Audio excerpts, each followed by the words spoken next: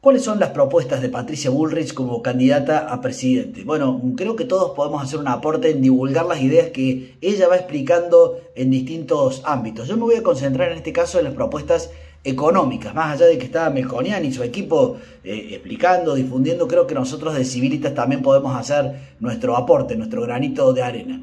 Em, ¿Cuál es el principal síntoma de que la economía argentina en versión kirchnerista no va más? Bueno, la inflación. Este 150% de inflación es el síntoma, es la fiebre alta, digamos, que está marcando que nuestra economía está completamente colapsada, enferma, con un cáncer terminal, diría yo. ¿Por qué? ¿Cuál es el cáncer que está por detrás de la inflación en Argentina? Que el Estado gasta más de lo que ingresa. ¿Eso qué es? Histórico en Argentina, distintos gobiernos que han venido gastando más de lo que ingresan, hace que al final del día lo paguemos por otro lado, lo paguemos todos los habitantes con el aumento sistemático de los precios, de las tarifas, de, la, de cuánto nos sale la escuela, cuánto nos sale la cobertura de salud, la obra social, etcétera, los alimentos básicos que consumen eh, toda la población, etcétera. Bueno, reducir el gasto público para que realmente gastemos lo que nos ingresa es el gran desafío del próximo gobernante, del próximo gobierno. Y bueno, y aquí hay mucho populismo que dice, bueno, le vamos a reducir a los políticos, y así hay que hacerlo, hay gastos impúdicos en la política, pero todos tenemos que saber que aún siendo muy eficientes en reducir el gasto político en Argentina, eso no es más que un 5%, y no vamos a lograr el objetivo porque necesitamos reducir mucho más el resto de las áreas del Estado, y bueno, ya tocamos áreas sensibles. Están las jubilaciones, que por supuesto no las podemos tocar porque son nuestros ancianos, nuestros jubilados, que además ganan dos pesos. De hecho, tendrían que ganar más. Está el gasto social, que aunque se puede corregir porque hay clientelismo y hay manejo espurio de algunos, pero realmente no podríamos reducirlo eh, dada la crisis social que está viviendo la Argentina. Sí están los subsidios, que va a ser un golpe para la clase media porque son los subsidios a la tarifa de luz, de gas, sobre todo para la gente del AMBA y Capital Federal que realmente eh, pagan muy poco, pagan la mitad de lo que pagamos aquí en Córdoba. Bueno, ahí hay un 9% de que sí se puede ajustar. Bueno, la buena noticia es que el equipo de Patricia y el equipo de Melconian, yo he participado, todos nosotros hemos participado, eh, viene estudiando hace un año para hacer cortes como si fuera una bomba de relojería, cortar un cable aquí, cortar una, otro cable allá, para que se produzca ese efecto de reducción del gasto público sin que haya sufrimiento social en la Argentina, para que se haga de una manera eficiente. Está el plan para hacerlo y se puede hacer perfectamente.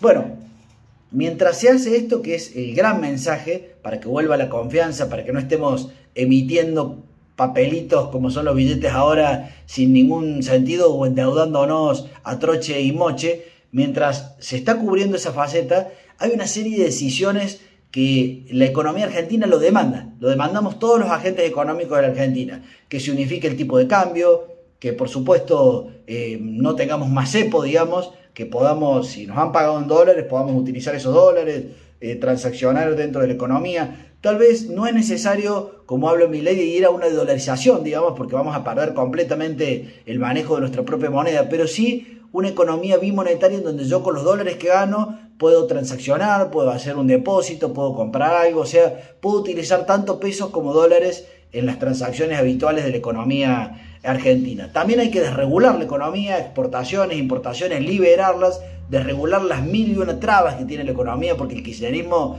eh, se ha encargado de trabar cuanta cosa haya, porque en cada traba hay un nicho para después pedir coima para la corrupción. Así que eso hay que digamos, hay que desarmar a la economía kirchnerista para que vuelva a fluir la dinámica económica. Por supuesto que también hay que revisar el mercado laboral, su legislación, hay que reformar eh, ciertas leyes porque hay una gran incertidumbre y eso impide que las empresas puedan tomar empleo genuino en blanco y bueno, y lo que nos está pasando es que tenemos el 50% del mercado laboral en negro, que es una, es una enorme deuda pendiente, una enorme barbaridad de la economía en Argentina. Bueno, todas estas decisiones que estoy mencionando y una que es la principal demanda de los argentinos, que es, señor Estado, sáquenos la pata de encima. Ese Estado que hace un tiempo era el 25% de la economía argentina y ya era mucho, ahora es el 50% del PBI. O sea, de todo lo que producimos los argentinos, la mitad se lo está chupando el Estado de manera ineficiente. Bueno, eso hay que desarmar esa bomba y necesitamos que nos cobren menos impuestos, menos impuestos nacionales, provinciales, municipales, ingresos brutos, o sea, que se ordene la carga impositiva en Argentina. Bueno, este mapa de reducir el Estado, reducir los impuestos, liberar la economía argentina, es un poco el diagnóstico que todos somos conscientes que es, lo que hay que hacer, digamos. Todos sabemos que hay que hacer eso, digamos.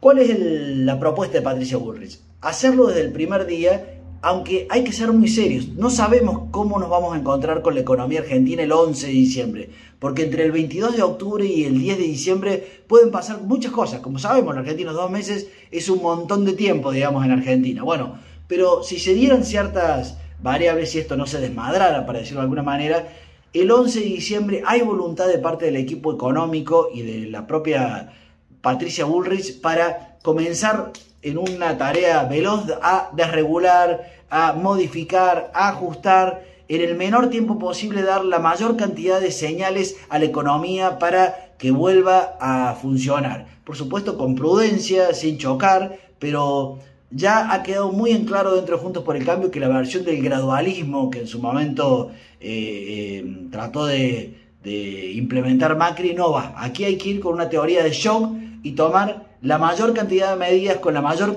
profundidad posible desde el primer día. Por supuesto que está, por ejemplo, el tema de las retenciones. Las retenciones, en todo el equipo de Patricia hay una voluntad de llevarlas a cero, a, todas las retenciones.